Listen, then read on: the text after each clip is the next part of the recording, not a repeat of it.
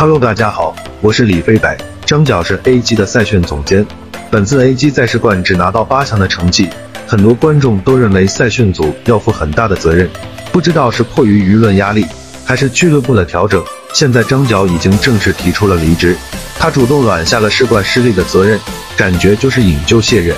A 级的队员和教练纷纷在评论区表达不舍，毕竟他们和张角相处了挺长时间。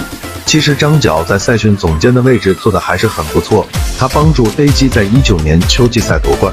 不过此后就很遗憾，一直没能有新的突破，可能跟他的带队风格有关。A G 的阵容体系几乎没有变过。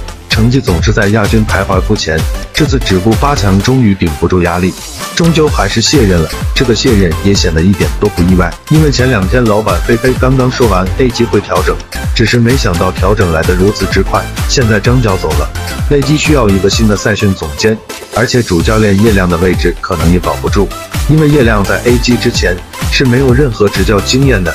而且带队 A 级没有打出应有的成绩，现在月光极有可能重新执教。月光的呼声在粉丝中是非常高的，他作为总冠军教练，也不会有人质疑他的执教资格。张角的辞职只是 A 级调整的第一步，接下来就是选手的调整，这一部分会更加牵动粉丝的心，大家一起期待吧。